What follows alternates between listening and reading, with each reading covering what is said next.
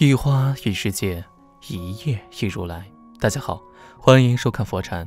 今天和大家分享的是：平凡是生活的底色，每个人都是平凡的个体。每一天，我们过着平凡的生活，经历着平凡的故事。其实，很多人的内心渴望自己与众不同，也希望通过努力成就自己的不平凡。有一部分人这么想了，也这么做了。无论生活再难。他们都不曾停下脚步，更没有放弃心中的理想。最终，他们都在平凡的生活里活出了精彩，而他们拥有了不平凡的人生。也正是因为做到了这三点：一、懂得忍耐。人活于世，贵在懂得忍耐。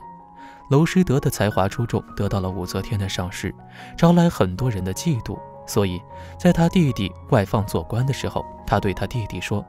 我现在得到陛下的赏识，已经有很多人在陛下面前诋毁我了，所以你这次在外做官，一定要事事忍让。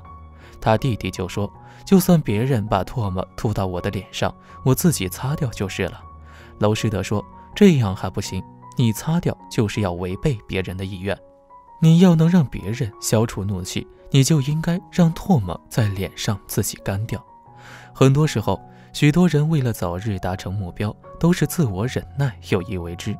只有忍受了常人所不能忍受的痛苦，才能达到旁人不可能达到的高度。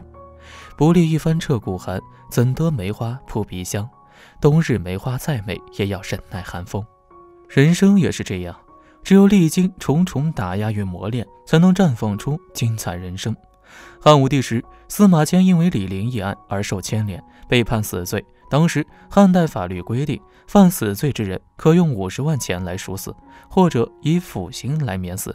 司马迁为官清廉，无钱赎罪，要活命，唯一的选择就是腐刑。虽然腐刑给司马迁身心带来了极大的伤害，但他为了实现究天人之机、通古今之变、成一家之言这个伟大梦想，自我克制，忍辱负重，默默耕耘。历时八年，终于用心血和汗水完成了一部不朽的历史巨著《史记》，给后人留下了一笔宝贵的文化遗产。行常人所不能行，忍他人所不能忍，方能有朝一日成为人上人。汉朝孙景晚上读书的时候，找来一根绳子，绳子的一头挂在房梁上，下边这头就跟自己的头发拴在一起，这样。每当他累了、困了，想打瞌睡时，只要头一低，绳子就会猛地拽下他的头发，一疼就会惊醒而赶走睡意。他就是用这种办法发奋苦读，成为一名通晓古今的大学问家，在当时江淮以北颇有名气，常有不远千里的学子前来向他求学解疑、讨论学问。俗话说：“能忍一时苦，换来一世甜。”想成大器的人，一定是要学会忍耐。一个有忍耐精神的人，才会有非凡的人生。一个人越能忍耐，越能成大器。淮阴城有一个年轻的屠夫，当街拦住韩信，并当众侮辱他说：“假如你不怕死，那就刺死我；不然，就从我的胯下爬过去。”韩信不想和他纠缠，就俯下身子，从对方的胯下爬过去。集市上的人都讥笑韩信胆子太小。其实韩信不是懦弱胆小，而是胸怀大志，不想让自己小不忍而乱大谋。无论世道多艰难，能忍受当下的平凡，才能获得未来的不凡。二，保持坚韧，不放弃努力。在前行的路上，很多直面困难的人展示出坚韧不拔的意志力，最终也让自己的人生夜夜闪光。史铁生二十一岁瘫痪，五十九岁离世。大半生都行走在死亡的边缘，别无选择的他坐上轮椅后，找工作四处碰壁，生活也不尽如人意。为此，他狂躁过，自暴自弃过。但在看破生死之道和领悟尘世得失之后，他不再畏惧病痛的折磨，不再在意旁人的嘲笑，而是选择坚强地活下去。最后，他找到了一份在家具厂画画的工作，同时他还坚持写作。而写作又为他打开了一个全新的世界，他把自己的所见所思所想都写进了作品里。貌似绝望的字里行间，竟是对健康的渴望和对生活的热爱。世界以痛吻我，我却报之以歌。他承受了人世间最深重的苦难，却超越了生死，为后人留下了很多名篇著作，为后人树立了一个励志榜样。古人言：“任者柔而不折，威而不屈，外柔内刚，秉性顽强。”一个人因为有韧性，所以才不会被困难所打倒，才能走得更长远。史铁生正是凭着这股韧劲，才慢慢走出瘫痪的阴影，成就了传奇的人生。富兰克林也曾说：“为坚韧者，使能遂其志。”唐代诗人刘禹锡被贬的时间长达二十三年，却依然斗志昂扬，活成了一个斗士，与命运和贪腐的朝廷抗争着。刘禹锡从监察御史一路贬到一名小小的通判，因为他的倔强和不屈，知县一次次逼他搬家，而且一次比一次面积小，最后只剩下一间小小的屋子。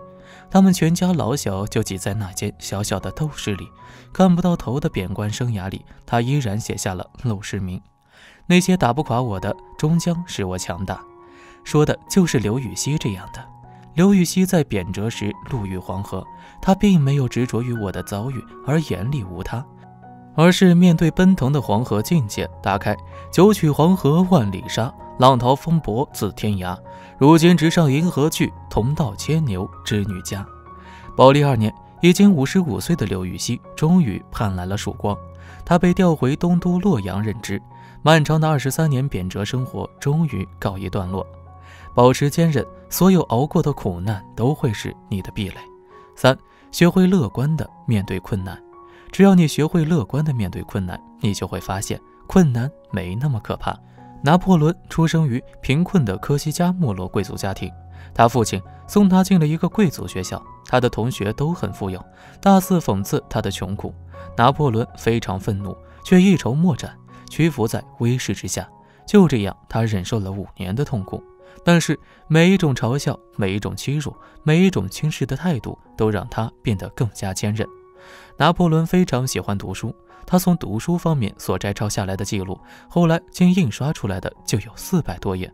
他想象自己是一个总司令，将科西嘉岛的地图画出来，地图上清楚地指出哪些地方应当布置防范，这是用数学的方法精确地计算出来的。因此，他数学的才能获得了提高，这是他第一次有机会表现他的能力。长官看见拿破仑的学问很好，便派他在操场上执行一些工作，这是需要极复杂的计算能力的。他的工作做得极好，于是他获得了新的机会。拿破仑开始走上有成功的道路。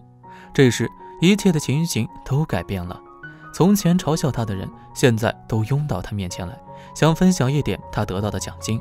从前轻视他的人，现在都希望成为他的朋友；从前挖苦他矮小无用、死用功的人，现在也都尊重他。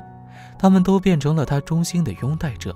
人生不可能消除困境，乐观的人视困境为对自己的恩赐。看过这样一则故事：弟子问佛祖：“您所说的极乐世界，我看不见，到底在哪里呢？”佛祖把弟子带进一间漆黑的屋子，告诉他：“墙角有一把锤子。”弟子不管怎么看，仍然伸手不见五指，只好说看不见。佛祖点燃了一支蜡烛，墙角果然有一把锤子。然后佛祖反问弟子说：“你看不见的东西就不存在吗？”弟子恍然大悟：也许我们都曾有过黑暗无边的处境，但只要你学会乐观地面对困难，积极向上，你再回头看，就会发现。人生其实根本没有跨不过去的坎儿，扛不过去的难，熬不过去的苦。在人生的每一个阶段，我们都会面对不同的困难、挑战和挫折。也许你曾以为已经束手无策，再也找不到更好办法克服困难时，可是就在你努力攻克难关，一点点去尝试、去摸索、去创新时，就在不知不觉中，新的局面已经为你打开。当然，在这个过程中，你会吃很多的苦，受很多的难，但人生就是这样，只要不放弃、不灰心、不泄气，就一定可以突破自我的局限，走出瓶颈期，终会等来柳暗花明的一刻。但若你轻易地向他低了头，认了怂，就很难走出糟糕的境遇。很多时候，人面临的最大挑战，不是来自于别人带来的麻烦，不是环境对你的考验，也不是现实给你带来的刁难，而恰恰是在于你用怎样的心态去面对。有的人很悲观，但凡遇到点不顺心的事儿，就会觉得天都要塌下来了，无能为力了，走向穷途末路了。但其实，如果你沉得住气，扛得起事儿，担得起责，依旧能够闯出一片新天地，依旧能够走出困难的处境。有的人积极乐观，哪怕他们面临着艰难的处境，也会乐观面对，把它当做历练和打磨自己的机会。即便最终没有成功，他们也会从中汲取教训和经验，让自己不断成长和进步。生活困难时，你曾以为无法熬过这一关。可只要乐观积极面对，就能从失败的教训中汲取经验，从而在下一次更靠近胜利。你人生中的许多烦恼、痛苦和不如意，都由你来决定。如果你看到积极的一面，就能产生正能量，助力自己奔向更加美好的生活；如果你只看到消极的一面，就会产生负能量，将自己拽入无底的陷阱。人生中所有的难，都会在你乐观面对时消失。今天的分享就是这些，非常感谢您的收看。喜欢佛禅频道，别忘记点点订阅和转发哦。在这里，你永远不会孤单。